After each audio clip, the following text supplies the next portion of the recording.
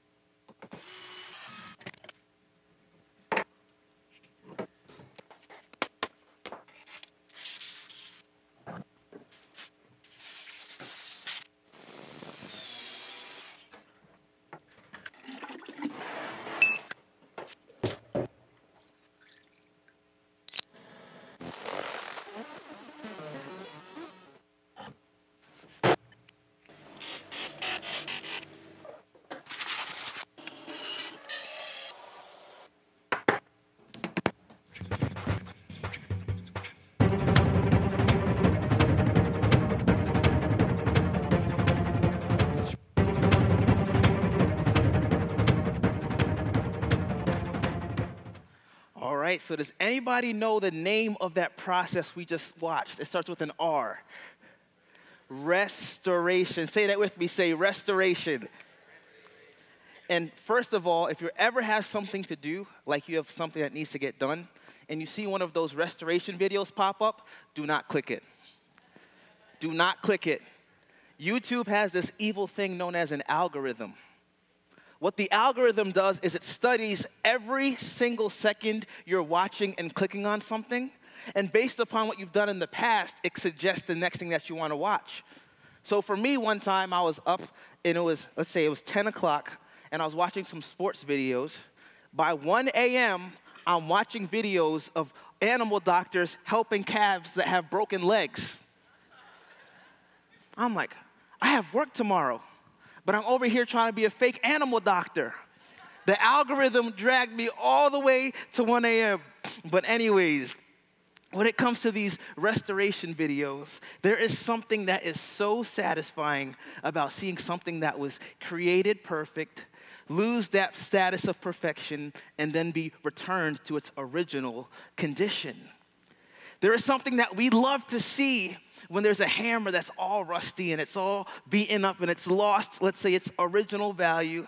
It's so amazing when that hammer is placed in the hand of what I'm going to call an artist and they restore it back to its original condition. This man that was working on that hammer is clearly a restoration expert. One thing that I appreciate about these videos is that these experts, when they're restoring something, they're not trying to make it better. They're not gonna coat it in epoxy, and they're not gonna spray paint it pink, and they're not gonna change the handle from wooden to metal. A good restorer understands all I have to do is take this object that lost its value and bring it back to the original condition. Say that with me. Say original condition. And believe it or not, as we're talking about this series, Celebrate Life, that works really closely with our program at the church known as Celebrate Recovery. What if I told you today that recovery is not about improving on God's design? What if recovery was about us being restored to our original condition? What if we don't have to try to do better than what God did in the garden? What if the whole process of recovery is about us getting back to how we were in our original condition? Listen to the definition of recovery The first definition of recovery is a return to a normal state of health, mind, or strength. We recover to a normal or to an original state of health, mind, or strength. And we understand this if somebody goes into surgery and now they're recovering from their surgery, we know that they're getting back to their original state of health. And when we look at the original condition of humanity in the garden, we see that God created everything good, including us. Genesis chapter 1, verse 26. Then God said, Let us make man in our image, after our likeness, and let them have dominion over the fish of the sea, and over the birds of the air, of the heavens, and over the livestock, over all the earth, and every creeping thing that creeps on the earth. Verse 27 So God created man in his own image. In the image of God, he created him. Male and female, he created them. So we see that God creates humanity. This is at the conclusion of all of creation. And then in verse 31, God kind of zooms out and God gives a commentary on what he's done thus far. Verse 31 And God saw everything that he had made, and behold, it was very good. It was very good. It doesn't say that it was very good, except Adam and Eve had some mental issues. No, it was very good. It doesn't say it was very good, except Adam was missing his left leg. Nope, there was no physical issues. It was very good. It doesn't say it was very good, except they were spiritually dead. No, everything that God created was good. We need to understand one thing today that a good God cannot create evil. God is not the author of evil circumstances. God does not cause evil to happen in this earth today. If there's something evil that happened to you, and you're saying, God, why did you do this to me? You're blaming the wrong suspect. It is Satan, it is the thief that comes to steal, kill, and destroy, but Jesus comes that we might have life. That is God that we serve. And what I love about creation in this account is that Adam and Eve are not just created good, but they're also placed in a good place. They're in a garden that is named the Garden of Eden. When you research the Garden of Eden, you see that it is a place of life. One of the words that pops up over and over again, used to describe Eden, is a place of fertility. So, fertility is almost one step beyond life. Life means you're alive, right? Fertility means I can beget more life. So, the Garden of Eden, as a place of fertility, is a place where life is created and it goes on and on and on and on again. It's a state of perpetual life. And this is the type of life that Jesus brings to us. So, today in this message, as I'm talking about recovery, I want us to understand this very clearly that recovery is not about trying to do better than what God already did. It's about us being restored to the condition He created us in. It's about recovery, a return to the normal state of health, mind, or strength.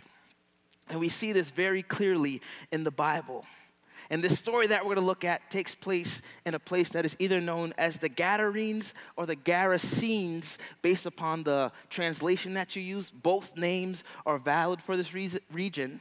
This region is a predominantly Gentile region. Everybody say Gentile. When you're studying your Bible and you see the word Gentile, just think of a non Jew but not just the ethnicity, but someone that might not be familiar with the customs of Jews or the Jewish religion at the time. So when you see Gentile, just think, all right, these people are not what we would call like church people. They're kind of world people, is what we would say in our modern times.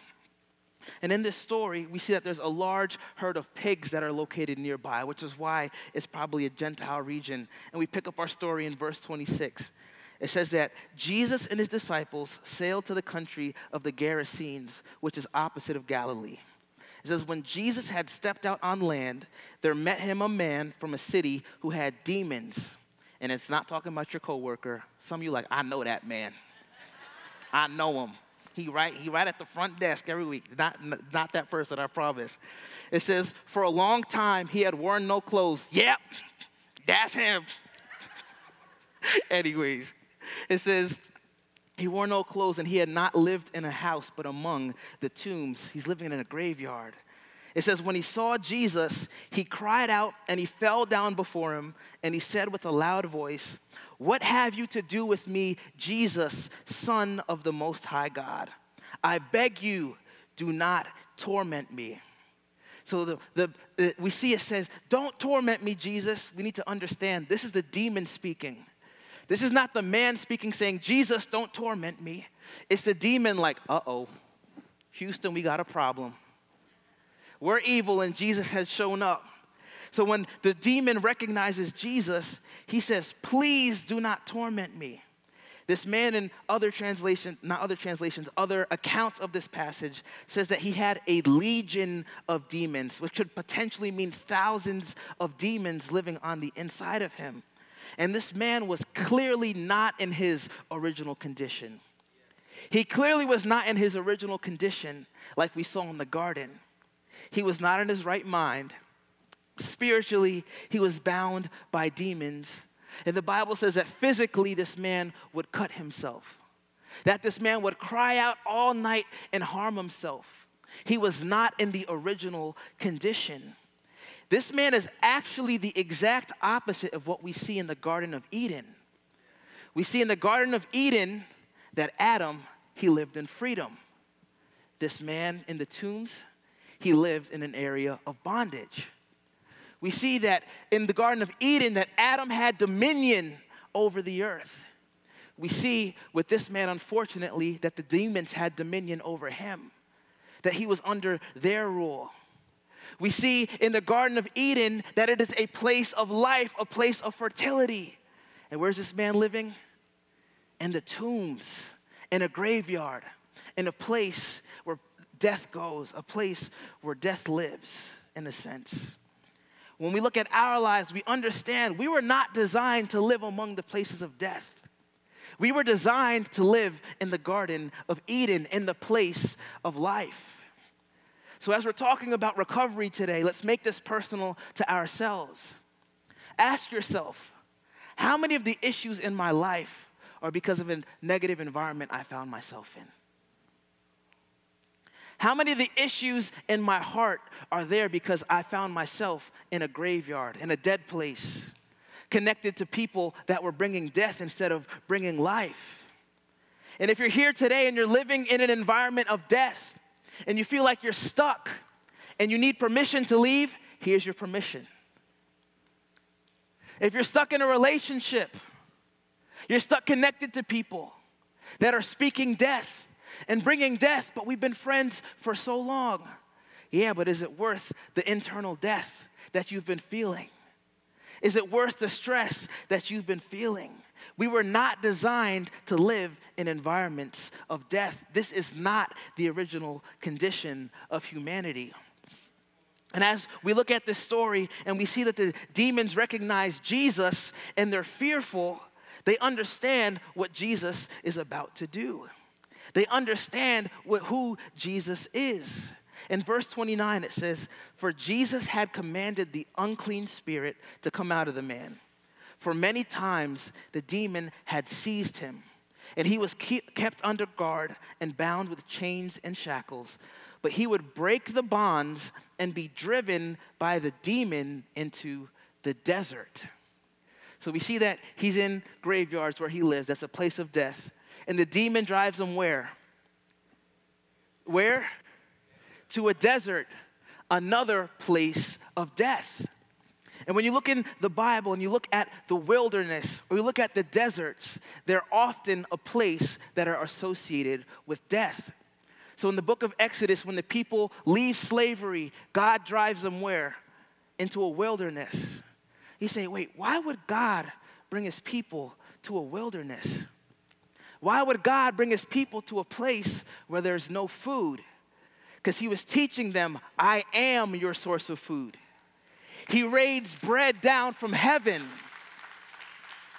And watch this. He tells the people as he rains down bread from heaven, only take enough food for today because I'm going to do it again tomorrow. And tomorrow, only take enough food for that day because I'm going to do it again. And on the Sabbath day, the day where they had to rest, the day before, God gave them double. So whether they had to rest or whether they were walking around, they always had what they needed. We see that Jesus is driven into the wilderness. He's actually led there by the Holy Spirit. And Satan says, Hey, I know you're hungry. Turn those stones into bread. And what does Jesus reply? Man shall not live by bread alone, but by every word that proceeds from the mouth of God. We see that in the deserts, when you're connected to God, it's a place where you see God's faithfulness. So, as a side note, if you're here today and you feel like you're stuck in a wilderness, you feel like you're stuck in a desert, this is not the time to quit. This is the time to lean in and see God's faithfulness in your life. This is a desert when we're with God. This man in the story, he's driven into a desert, into a place of death. We see in Genesis, Adam is in the garden, he's placed in the garden. And this man, he's in a desert and he's in a graveyard. There's a contrast here between life and death it's very clear this man was not in the original condition that God had designed for humanity. This man was in desperate need of recovery. This man was in desperate need of getting back to his original state. You know, it's easy to look at people who are broken and say, You need to get up. You need to do better. You need to get up and go to church. It's easy to look at people who are down and say, Come on, just trust God. What are you doing? What's wrong with you? Why don't you trust God? And we fail to realize that in this story, we're not Jesus, we're the madman in the graveyard. In this story, we're the ones who need help. We're so quick to judge others, but we forget that before Jesus, that's exactly who we were. We were stuck in a place of death before Jesus. We were stuck and needed help. We were bound by shackles. We were outcasts. But then Jesus shows up and he changes everything. Say that with me. Say, when Jesus shows up, everything changes. So we look back into the story. And what I love about Jesus is once he shows up, the recovery process begins. There wasn't no formalities. Hey, how you doing, Chuck? How you doing, Jesus? I'm good. Hey, see that weather? Boy, them jets. You gotta get them jets. This our year, like the last 50 years, right? And then all of a sudden, Jesus doesn't do all that. He jumps right in and he commands the evil to come out of him. Jesus goes face to face with the darkest area of this man's life. He goes face to face with the most broken areas. Don't hide your brokenness from Jesus. Don't hide your brokenness from Jesus. When you're in your prayer time and there's that thing that you don't want to talk about because you're ashamed of it, that's the exact moment to talk to God about it. Number one, He's all knowing, so you can't hide stuff from God. It makes us more comfortable to not talk about it. But the reality is, when we bring the darkest areas of our life to Jesus, that is where the most recovery will take place. We see that Jesus goes face to face with the dark area of this man's life, and he speaks a word to set him free. Jesus goes face to face and he speaks a word to set him free. I want to ask you today if there's an area of your life that you struggle with or an area where you feel stuck, I want to ask you what word has God spoken that will set you free?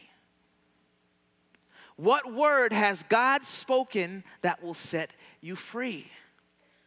If the area of love is broken inside of you, if you've been hurt by life, you've been hurt by someone else, what word has God spoken that will set you free? the Bible says, no greater love than this, than a man would lay down his life for his friends. You know who laid down his life for us? Jesus. So if you struggle with that feeling of love inside, there is a word that God spoke that will set you free.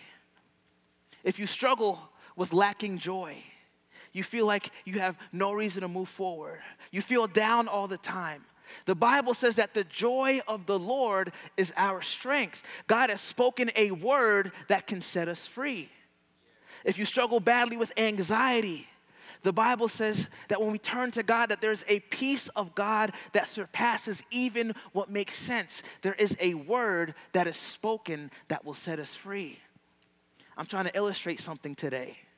That whatever problem you have, there's a word that is the answer. Whatever issues you're facing, there's a word that is the answer. And that word is from Jesus. I want to ask you today what word has God spoken that enables you to take back an area that was stolen in your life? How many of you wave at me know that life tries to steal from us? That there's moments where life will try to steal our joy, will try to steal our love. We'll try to steal our faith.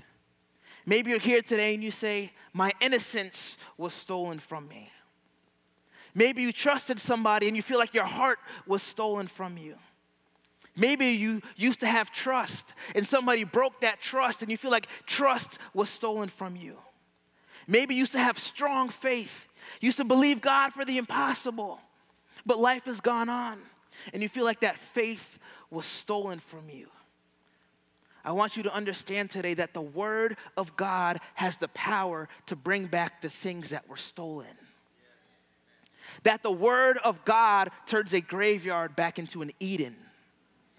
That the Word of God takes a rusty old hammer called me and restores it back to its original condition. I didn't share this at the beginning, but the word recovery has two definitions. The first definition of the word recovery is to return to a normal state of mental, physical, of mental and physical health. The second definition of the word recovery is the action or process of regaining possession or control of something that was stolen or lost. The second definition of recovery is to take back something that was stolen. So if a child gets abducted and they find the child and an officer grabs the child, what do they say? We've recovered the child. One time I was working on an essay for hours and hours and I deleted it. Lord Jesus. Lord Jesus. I jumped right online and I jumped right on Google and I was like, how to get files back that you deleted. You know what it's called? there's a system that is known as a file recovery. So, although something was lost, I can get this system and it goes in, finds what was lost, and it recovers it. If you can't see where I'm going with this, we have somebody that can take back the areas of our life that were stolen. We see in the Bible that Jesus is labeled as a second Adam. Why? in the first Adam, something was stolen. In the second Adam, it was recovered. Jesus goes in and he takes back the things that was stolen in the garden. And when we see God in this recovery process, how does he recover? He sends his word. He sends his word. You see, when Jesus spoke and when we have the Bible, we know those as the words of God but one of the titles that Jesus has is like the Word of God itself. So think of if I had the words on the screen water bottle versus this water bottle. That is the words of God. We see the annotations of God.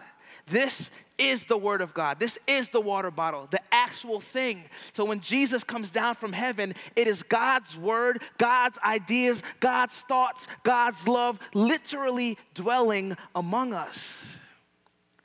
And that, believe it or not, is the place of Eden, where Adam and Eve were in their right mind, recovered in their original state, walking with God. What I love about God and His Word is that we see that God's Word not only can restore us to our original condition, but that God also helps us to take back the areas that were stolen. I want you to understand today that if there's any area where you feel like you've lost and you've given up, I want to tell you two words don't quit. Don't quit. Don't quit. Look at somebody next to you and tell them, don't quit. Now turn to your backup choice and tell them, backup choice, don't quit. And if your spouse was your backup choice, don't do that. Don't do that. Put them first next time, okay? We see in the Garden of Eden that God provided everything that Adam needed. He provided all the food he needed. He had a relationship with God. We even see that everything was good in creation, but God said one thing is not good that man has nobody to dwell with. So he even provides the one thing that Adam needed most.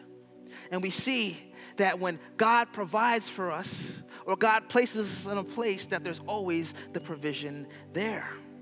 But I want to ask you do you believe His word today? Do you believe that He has provided all that we need?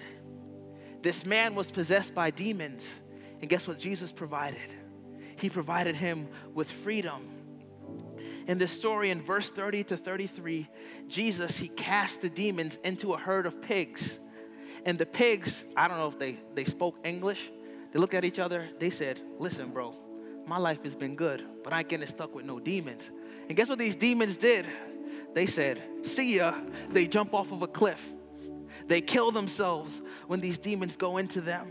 And in verse 35, it says that the people went out to see what happened, and they came to Jesus, and they found the man from whom the demons left, sitting at the feet of Jesus, clothed in his right mind, and now they're afraid. This man used to howl all night, cut himself. I'm assuming they had iron chains that this man would break. He would scream and they were fine. But the moment he got help and the moment he got healing, the people were now afraid. As a side note, if you have friends in your life that would rather see you broken than get what God has in store for you, it's time to wave bye bye.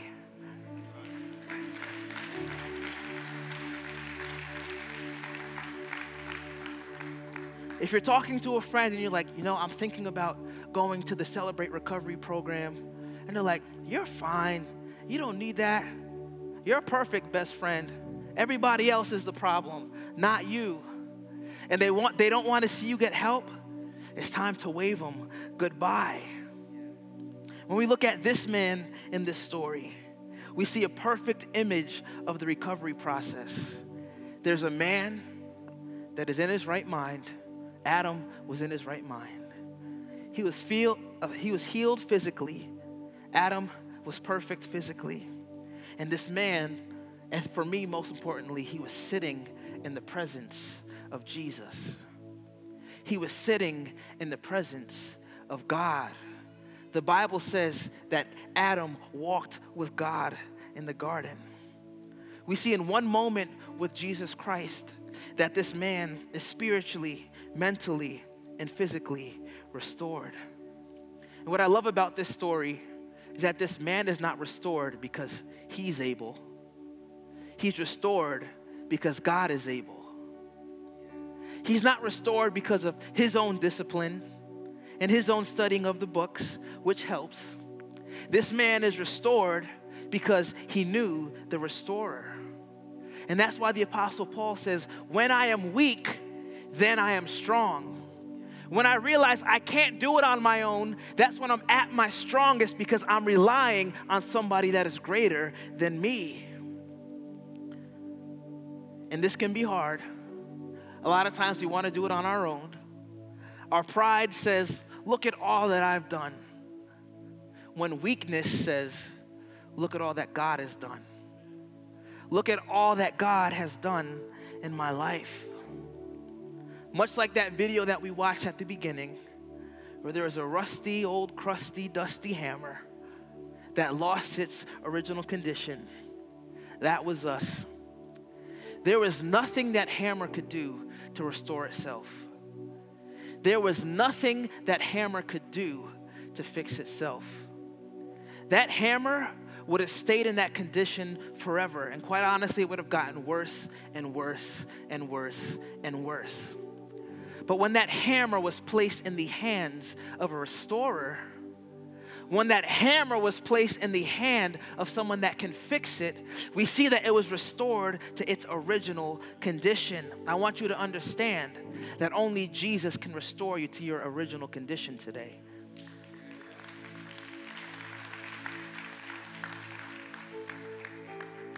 One of the names of God is Jehovah Rapha, which means the Lord, our healer, the God who heals.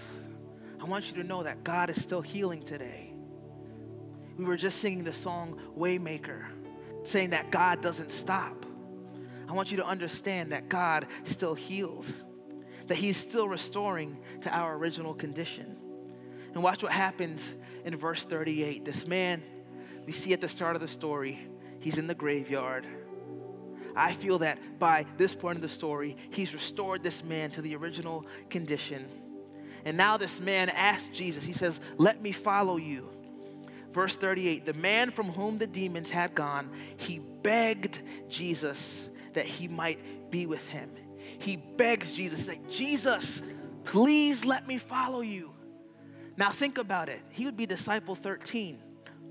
What better backstory like when you see a superhero in a movie and they have this huge backstory and they come all the way full circle and they set others free. What better backstory for a disciple? And guess what Jesus says to him?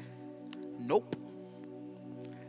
Verse 38 continued, but Jesus sent him away, saying, Return to your home and declare how much God has done for you. And he went away, proclaiming throughout the whole entire city how much Jesus had done for him. Believe it or not, sometimes your recovery is not just for you.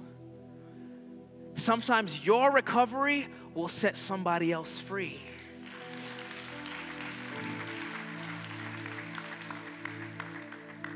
There's a story in the Bible of someone, two men named Paul and Silas, and they were in prison.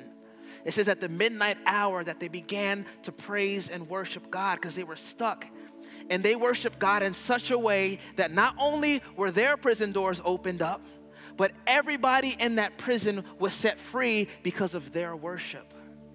That is the nature of recovery. I am set free that others might be set free. It's not just about us, it's about helping those who are around us. This man, he goes and he shares his testimony.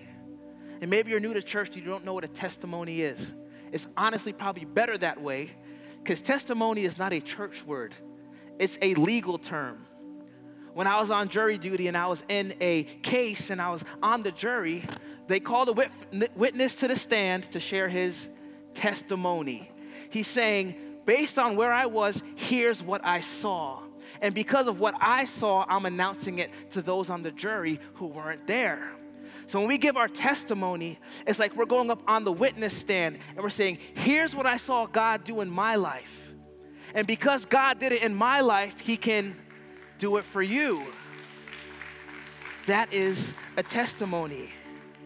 Charles Spurgeon, he puts it this way The Bible is not the light of the world, it is the light of the church. But the world does not read the Bible, the world reads Christians, you are the light of the world. Sometimes when we find recovery and we find healing, we want to say, Oh, I'm on to bigger and better things. Where God says, No, go back into that broken area and keep the cycle going. Go back to that broken area and begin to share your testimony.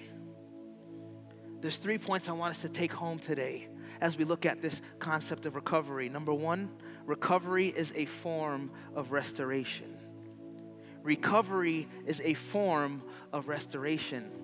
It does not say that Jesus shows up and he put this man into a different mind. It says he was back in his own right mind. Jesus doesn't give him a brand new mind. He says, I'm putting you back to the original condition. Many times when we think of recovery, we think, I'm going because I want to be a brand new person. I want to be completely better. I want to tell you that the original version of you is the best version. I can go and I can buy a copy of the Mona Lisa, but it's going to be worthless. But if I got the original copy, it has tons of value. Let me ask you would you rather be a replica or an original? You are an original. Don't look at somebody else and say, man, I wish I was a replica of them. No, your original condition is where you ought to be. And a side note, I'm talking about the healthy version of you. I want to hear, oh, it's in my personality to knock out people and steal their wallet. No, you just acting ghetto. Like, you don't need to do that. The healthy version of ourselves. And one of the reasons why I think people might be afraid or might not want to go to recovery is so much of it is looking backwards. I don't want to talk about my past. Let's just talk about the future. I don't want to look backwards. I want to look forward. Let me ask you something. When you rewind a movie, where do you go? Backwards. When you rejuvenate something, you're saying, I'm bringing life back into this. When you restore something, you're bringing it back to its original condition. And here's one more a Bible word. You might have heard it before redemption. Redeem, to be bought back. We were God's possession in the garden, something was stolen. So Jesus Christ comes down and he recovers or he redeems or he buys us back. I want to encourage us today with this. Although we cannot change the past by talking about it, we can change the power that it has over us. Although we cannot change the past by talking about it, we can change the power it has over us. Jesus doesn't send the man and say, All right, tell your story, but cut out all the bad stuff. Just talk about me. No, he says, Tell your whole story. Many times people identify more with our dirt than they do our flowers.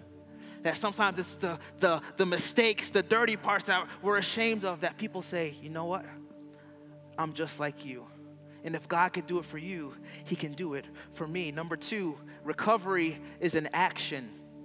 As we saw in the second definition, recovery is the action or the process of regaining possession or control of something that was lost. When God restores humanity, what does He do? He sends his son. He takes an action. For God so loved the world that he gave his only son. We talked about this in the first week, but if we want to see recovery, if we want to see this restoration, we've got to trust the process that God has given to us. And a lot of times it's sitting in small group settings like Celebrate Recovery and having conversations with other believers. And number three, recovery is a form of rest. Say that with me. Say, recovery is a form of rest. Every single professional sports team, I don't care who it is, they have a recovery specialist.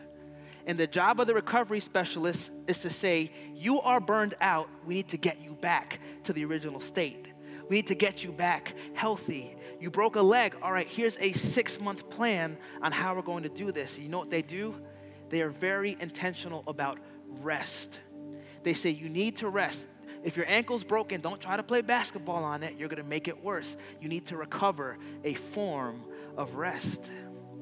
Because recovery can be uncomfortable, many times we look at it as a form of work. But I want you to know that we can rest in God and find recovery.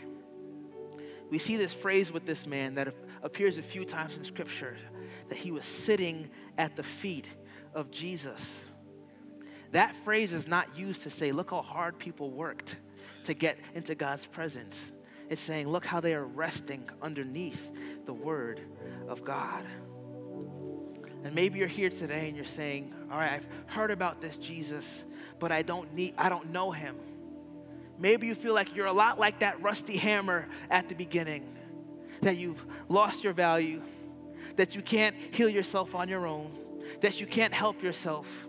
I want to encourage you today that Jesus Christ restores to our original condition.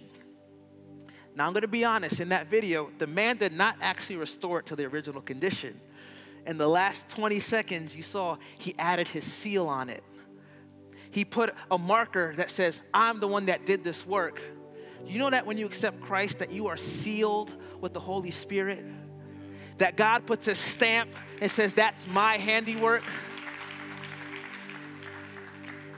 So if you're here today and you know I don't have that seal, I want we're all gonna pray together. Let's pray this prayer. So repeat after me. Say, Dear God, I come to you today just like I am. I believe that Jesus Christ is my Lord and my Savior. Jesus, I believe that you died and rose for me. Come into my heart, come into my life to change me and make me new. In Jesus' name I pray. Amen. Amen. Thanks for watching today's message. My name is Pastor John Mark, and if this message has made an impact in your life in any way, I'd like to ask you to do a couple of things. We want you to like and subscribe to our channel and join us right here every Sunday at 9:30 a.m. or 11:30 a.m. The next thing I'm going to ask you to do is to take your next step in your journey. We'd love to help you do that. And you can head over to familychurchny.com or email us at team at familychurchny.com to get started